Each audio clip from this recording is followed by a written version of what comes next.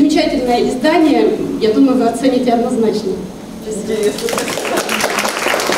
С подарками и песнями в Барнауле начался фестиваль книголюбов «Издано на Алтае». Профессионалы и любители презентовали свои детища, ни много ни мало, 558 изданий. Участники не скрывают эмоций, говорят, каждый год ждут фестиваль с нетерпением.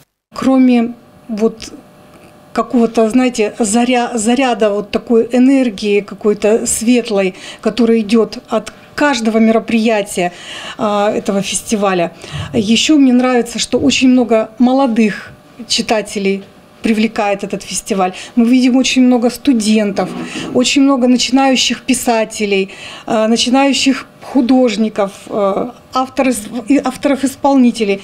Рядом с именитыми писателями, издателями, художниками – студенты. Эта площадка уравнивает всех, кто хочет прикоснуться к искусству, проникнуться атмосферой книжного дома. Участники постарше сходятся во мнении. Интереса к чтению у поколения Z мало.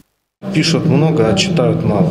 И очень хотелось бы, чтобы читатели возрастали, количество читателей. Студенты, например, некоторые даже и ни разу не были в этой библиотеке, что для меня, конечно, кажется очень странным. А это мероприятие позволило им познакомиться с библиотекой и с художником. И я надеюсь, что они еще сюда обязательно вернутся. Программа фестиваля плотная. Основная часть пройдет с 21 по 26 марта в Шишковке, но площадки организуют и в районах края. Кстати, номинаций будет множество. Лучшие издания в каждой из них жюри назовут в последний день марта. София Цинка, Алексей Фризин. День с толком.